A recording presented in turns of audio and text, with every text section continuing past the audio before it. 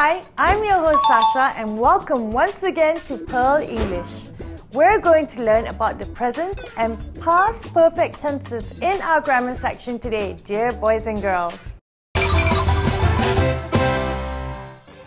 Let's talk about the present perfect. It is the tense that contains has or have and the past participle. It describes a past happening which is related in some way to the present time. In other words, we look back to the past from the present.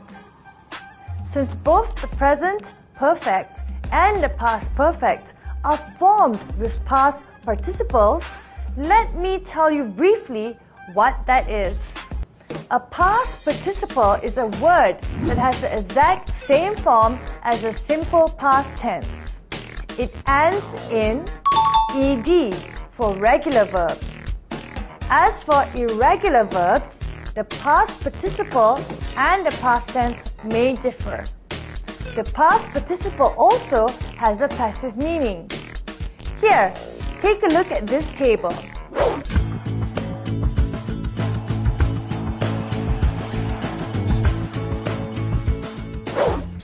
Okay, let's look at some sentences written in the present perfect tense. Do remember that the present perfect has an active voice. Someone has opened the window. This sentence tells us about an action that has happened recently and the result can still be seen in the present. That is, the window is still open. You will also notice that no adverb of time is used. I have already watered the plants in the garden. This sentence uses the present perfect to tell us about something that was done in the recent past. We can use words like already, still, and yet to show that it was done not too long ago. Again, no adverb of time is used. I have just seen the film The Black Hole and I do not like it. When talking about an event or action that happened very recently, we add the word just between have and the past participle and avoid using a time expression to say exactly when it happened.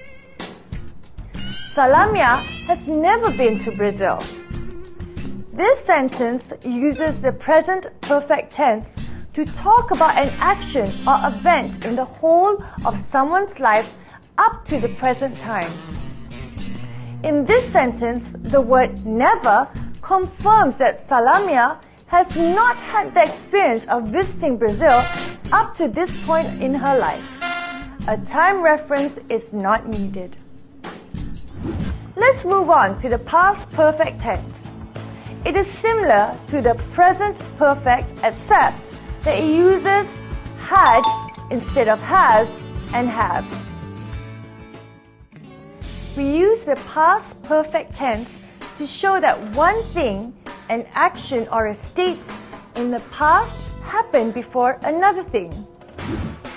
The women had baked all the cakes before the guests arrived. The sentence clearly shows one action being completed in the past before another action happened. The baking had been completed. Then the guests arrived. The past perfect tense can also be used in indirect speech to express the idea in direct speech that was in the present perfect. Let's watch some of our friends using direct and indirect speech to see how the present perfect tense changes to the past perfect form. I have taken my medicine. He said that he had taken his medicine. My father had just gone out to meet his friends. She said that her father had just gone out to meet his friends. I have traveled all over the world. He said that he had traveled all over the world. My grandmother has won the marathon. Noor told me that her grandmother had won the marathon. Hmm. Hmm.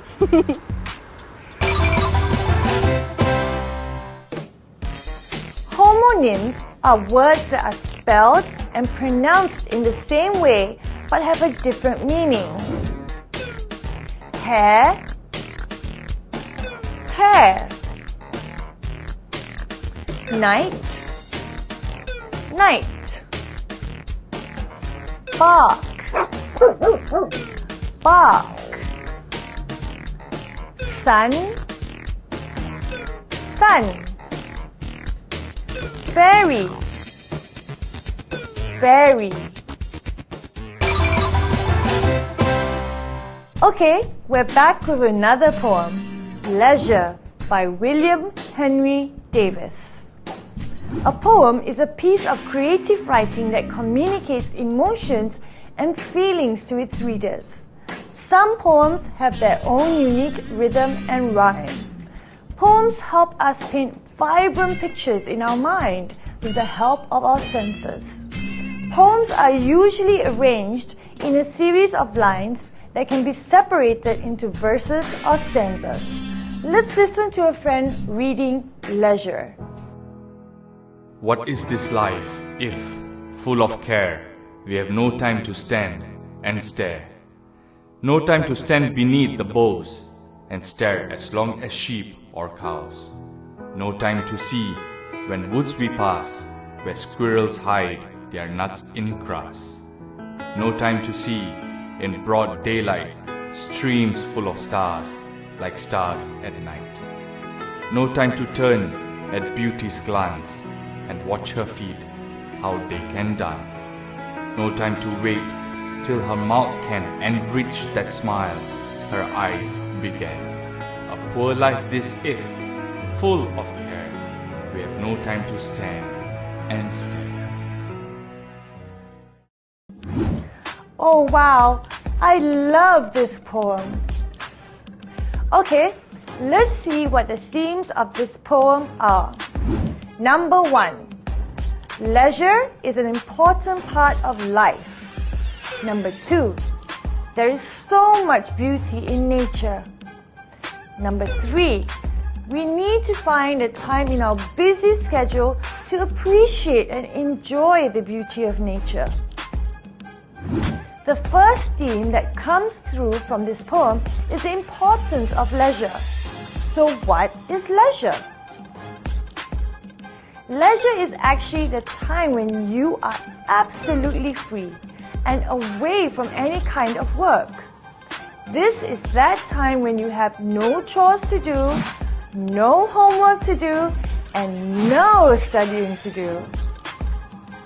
So instead of relaxing in front of the TV, playing computer games, or sleeping when you are free, why don't you use your leisure time to go outside and surround yourself with nature as it can heal your stress and motivate your happiness? The second theme found in the poem has to do with the beauty of the natural world around us. Have you ever been alone with nature? Ever had a quiet moment with it? Well, if you have, then this poem will make a lot more sense to you. When you are free, go outside and smell the flowers, touch the ground, take your shoes off and walk on the grass. Gently stroke the leaves on plants and soak your hands and feet in the flowing water of a stream. Also, do not forget to watch the little animals that scurry by and the insects that flutter around. While you stop and stare at nature, she will also be looking back at you and wishing you only good things in life.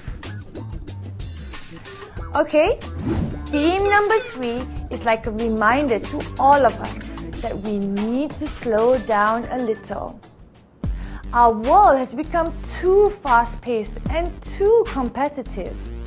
People rush from one place to another, from one activity to another. Everyone seems to have no time as they are busy chasing success. With success comes money, and money is power. it's sad, as many of us have become so disconnected from nature. The digital world that we live in has also contributed to us spending more time on gadgets and having no time for anything else. This need to be online 24 7 has taken away much of the quality time that we should be spending with our own selves, the members of our family, and with Mother Nature. There are many things that Mother Nature wants to whisper to you, so take some time off to listen. Well, those were some of the themes from the poem Leisure by W.H. Davies. I hope that has helped you understand the poem a little better. So, see you soon, take care, and keep on reading. Bye!